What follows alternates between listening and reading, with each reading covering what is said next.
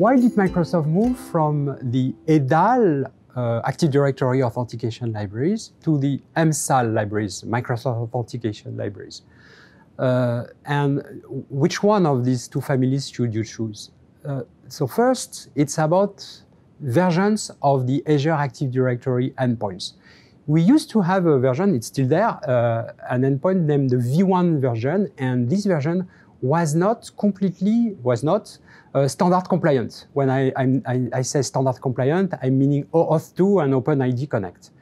And the V2 uh, endpoint, which is uh, part of the Microsoft Identity Platform, is something which is uh, standard compliant.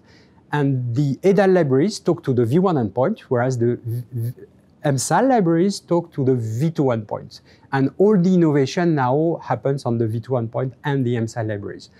The MSAL libraries, in a way, are a kind of continuation, but a newer version, improved version of the ADAL libraries. So now, when should you use one or the other? So this is simple. If you start a new project, you should not use ADAL. You should go directly to MSAL for any new application, you, you, you should go to MSAL. If you have some existing code using ADAL, you can stay there and migrate at your own pace to MSAL when you want. Uh, for example, when you will need one of the innovations which is in MSAL but not available in ADAL because on ADAL we, we are not going to innovate, innovate any longer.